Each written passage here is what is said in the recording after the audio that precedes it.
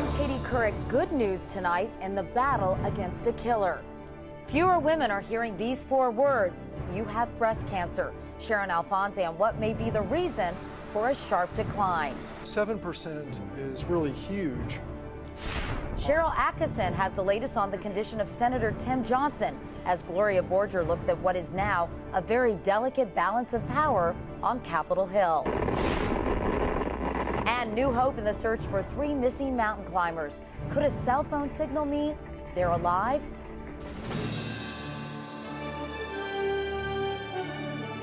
This is the CBS Evening News with Katie Couric.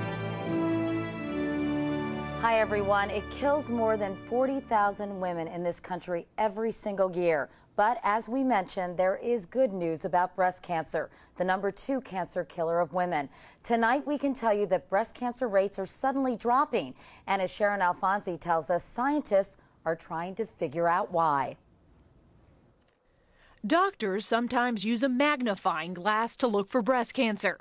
Now, some new cancer statistics are under the same scrutiny. After years of only fractional changes, researchers say suddenly the incidence of breast cancer dropped 7% in a single year. This is an enormous decrease. Researchers announced today that decrease may be linked to hormone replacement pills. In 2002, a federal study linked the hormones to cancer and heart disease. Millions of women stopped using them.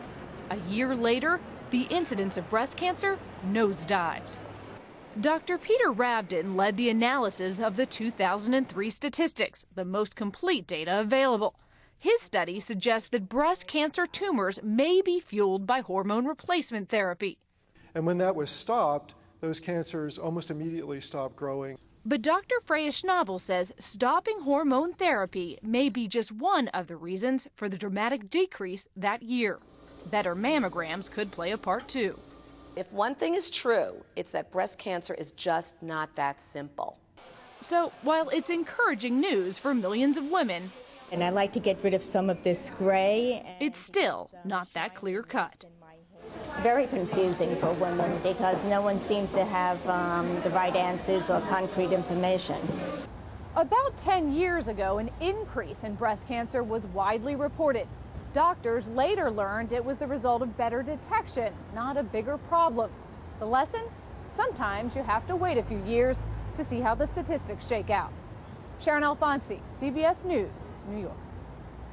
Dr. Jon LaPook is our CBS News medical correspondent. Jon, this is bound to add to the confusion people already have about hormone replacement. When that Women's Health Initiative came out four years ago and showed an increase in, the risk of breast cancer, many people said, we're not doing hormone replacement. Right. Do you think that this will only add to those fears? Well, it's such a complicated subject and it definitely needs further study. But I spoke to three experts today, and here's the bottom line that they said. The studies from four years ago were in women who were older, in their mid 60s, taking a relatively higher dose of estrogen for about five years. And the thinking now is that in a subset of patients of women with symptoms of menopause who are not at increased risk for side effects, that it's very reasonable to give a relatively lower dose of hormones for, say, a few years and see what happens. And who don't have a history of breast cancer either, that, right? Yeah, those would be the increased risks of problems. All right, Dr. Jon LaPook, stick around because we have another major medical story we're covering, and we'll talk about that in a moment. It's the sudden illness of Democratic Senator Tim Johnson of South Dakota, who had emergency brain surgery last night. And there are implications for the delicate balance of power in Congress. Johnson is now listed in critical condition. Sharyl Attkisson on Capitol Hill has the very latest.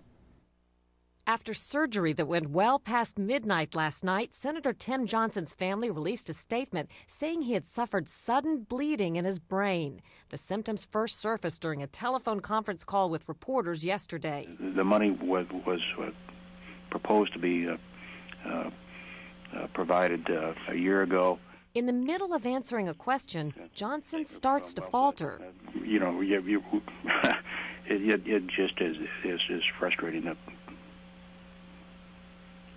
and, and, and, and uh, uh, after aides ended the call, Johnson managed to walk to his Capitol office but still appeared ill. An ambulance rushed him to the hospital. The diagnosis? An arteriovenous malformation in his brain.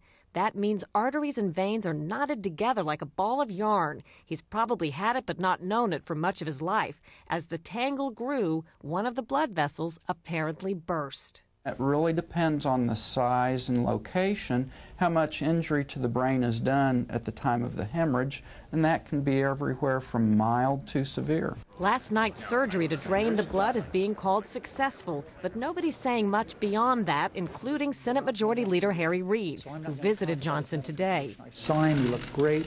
Johnson, who's been a senator for a decade, fought off prostate cancer in 2004. Married with three children, he voted in 2003 to authorize military force in Iraq, knowing it would send his oldest son, Brooks, an Army sergeant, to the region. He's since returned safely. Late today, we were told Senator Johnson has been appropriately responsive to word and touch and that no further surgery has been required. Also, Katie, that it's too early for a long term prognosis. All right, Sharyl Attkisson on Capitol Hill tonight. For most of us, this is the first time we have ever heard of the condition Senator Johnson has. So let's go back to our go to guy, Dr. Jon LaPook. Jon, how might this medical event affect Senator Johnson's health in the long run? It depends on exactly what's going on, which we really do not know. However, just to look at how things like this happen in other patients, this is a schematic of the brain, and this is the area of the brain where speech and communication is involved. Now, if you go back to sort of a slice through the brain to see of the kind of things that can go on when you have these abnormal blood vessels called AVMs, here you have one in the front part of the brain, and if these were to bleed, you could actually have problem with thinking and with movement.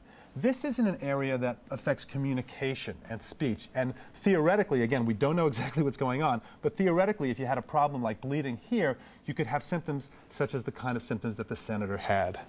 Jon, can patients like this experience a full recovery? I spoke to two experts at Columbia today, and the answer is absolutely yes. We don't know, again, the specifics of the senator's situation, so we can't say anything about him. But in general, patients can make a complete and total recovery. Dr. Jon LaPook, thanks for all your help tonight. Politics don't matter much in news of life or death, but when it broke yesterday that the Democratic senator was ill, there was immediate speculation about the impact it might have on the balance of power in the new Senate, where Democrats will soon hold the slimmest of majorities, 51 to 49. National political correspondent Gloria Borger is in our Washington bureau tonight. Gloria, what are people down there saying now? Well, Katie, one thing did become very clear today, and that is Republicans are staying very far away from the conversation about just who's going to control the Senate, at least for now. As one Republican said to me, and I quote, this is not the way we want to win back the Senate. And there's one more thing to keep in mind here, Katie, and that is that never in history has a sitting senator been told to leave the premises because of his health. And we have one current example. That's Senator Joe Biden of Delaware. In 1988, he had a brain aneurysm. He was out of the Senate for seven months. But, Katie, he's back in the Senate today. All right, Gloria Borger in Washington. Thank you, Gloria. And now to the search for the three climbers missing on Oregon's Mount Hood. National Guard helicopters, even a C 130 cargo plane, have now joined the effort. At the base of the mountain, where families and rescue teams wait, a single electronic ping is keeping hope alive tonight. Jerry Bowen reports. Despite fierce 100 mile an hour winds and near whiteout conditions that have stalled rescue efforts on Mount Hood, hopes have been raised by reports that a cell phone used by missing climber Kelly James was briefly turned back on late Tuesday night. My heart was in my throat when I heard that, because if it's true, it means that Kelly is alive uh, and that he has his wits about him. James used the phone Sunday to notify his family he'd taken refuge in a snow cave, while his colleagues Brian Hall and Jerry Cooke were going down the mountain for help. T-Mobile has been trying to reestablish contact with the phone ever since, sending a signal, pinging it routinely every five minutes. Tuesday, the phone signaled back that it was on before falling silent again. Other high tech efforts to locate the missing trio, unmanned drones to heat sensors, have been grounded by the brutal weather. The hope is all are in snow caves that could keep them warm and alive. They could be up at the top with Mr. James. They could be in a snow cave down lower. That's why we're kind of continuing some of our lower elevation searches. Karen James, for one, has no doubt her husband is coming down. My husband proposed to me on Mount Rainier, and we're planning our 50th wedding anniversary there, so I know he's coming off this mountain. But with more bad weather moving in, searchers say it may be the weekend before they can get closer to the stranded climbers. Jerry Bowen, CBS News, Los Angeles. And there's much more CBS News ahead. Coming up next, is the U.S. Army being stretched to the breaking point? A dire warning from the top general.